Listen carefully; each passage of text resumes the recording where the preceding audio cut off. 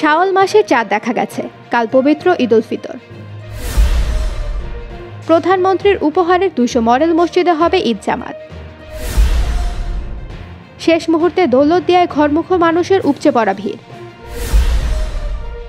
চব্বিশ ঘন্টায় বঙ্গবন্ধু সেতুতে টোল আদায় প্রায় তিন কোটি টাকা। সৌদির সাথে মিল রেখে দেশের বিভিন্ন স্থানে ঈদের জামাত অনুষ্ঠিত। জুমাতুল বিদায় বায়তুল মোকাররমে মুসল্লিদের ভিড়।